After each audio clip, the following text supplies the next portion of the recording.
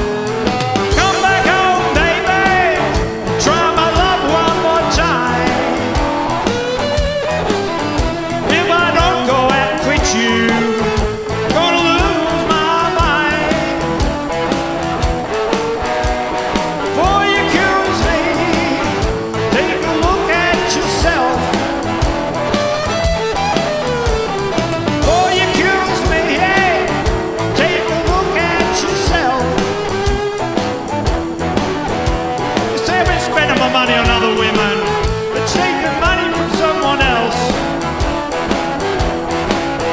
Say I've been spending my money on other women. You're taking money from someone